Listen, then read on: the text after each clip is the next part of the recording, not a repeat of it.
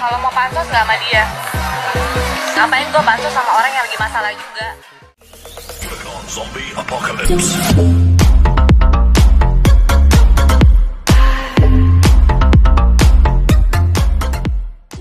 Bunga Zainal tampaknya masih belum bisa menerima perlakuan dari salah seorang youtuber yang diduga Ria Ricis lantaran senyumannya tak dibalas.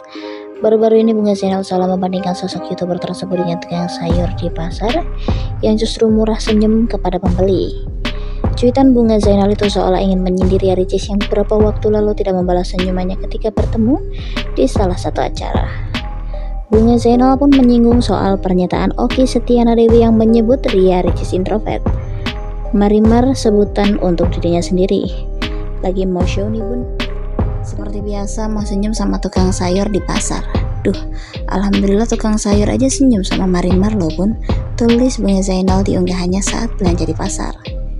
Masya Allah, attitude-nya bagus banget sih abang di sini. Sama-sama pembeli selalu senyum dan membalas senyum. Kalau kata Ustazah, tapi nggak berlaku buat yang punya sifat introvert ya bun kita harus maklum sambungnya Bunga Zainal pun terus melayangkan pujian kepada penjual sayur di pasar tersebut. Cie, babang senyumnya manis banget. Marimar doain ya bang. Rezekinya lancar sama sehat selalu.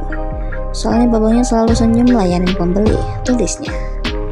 Tanya soal senyuman, Bunga Zainal juga diduga menyindir Ricis yang membuat konten bersama putrinya Moana. Pasalnya beberapa waktu lalu Ria Ricis juga menjadi sorotan lantaran membuat konten bersama Moana yang dinilai dapat membahayakan sang anak. Mau buat YouTube channel ah, biar konten aku ke pasar bisa cuan. Enak juga ya bunda kalau punya YouTube channel semua bisa dikontenin terus dapat cuan. Banyak followers, banyak subscribers, banyak viewers dan banyak cuan. Ujar Bunga Jainal. Tapi konten di pasar aja ya biar berfaedah jangan konten-konten yang membahayakan anak-anak. Nggak berkah takutnya. Soalnya bukan apa-apa nih bunda. Bukannya nggak butuh cuan. Tapi keselamatan anak lebih penting iya kan? Lanjutnya. Tiga tiga. Ya udah disenyumin dulu dong bang. Senyumnya mana bang? apa? Senyumnya eh. tidak Coba senyum bang. Coba senyum. Eh senyum itu ibadah senyum dulu. Eh pagi-pagi udah senyum. Orang berpikir kalau iman dia lebih baik dari gue. Terus eh sabar.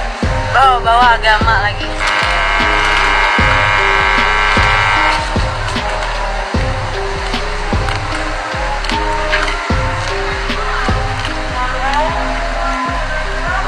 Nah tuh, yang jutek bukan adiknya doang. Ya gue nggak tahu deh, ntar juga pelan-pelan juga ke pelan-pelan juga keungkap kok.